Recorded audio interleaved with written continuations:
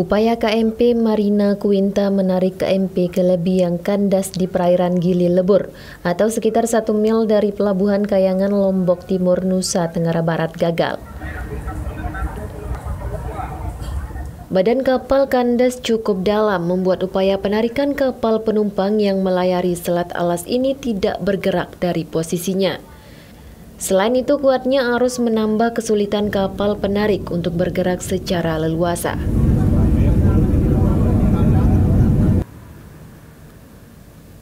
Untuk itu seluruh penumpang yang berjumlah 26 orang ditambah 32 penumpang yang membawa sepeda motor yang ada di dalam kapal termasuk penumpang dua unit bus dievakuasi KMP Marina Quinta ke darat atau kembali menuju Pelabuhan Kayangan.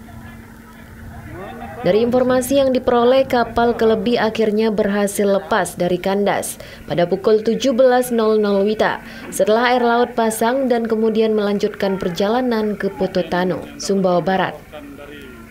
Dari Lombok Timur, Nusa Tenggara Barat, Irwan Taliwang, Get TV.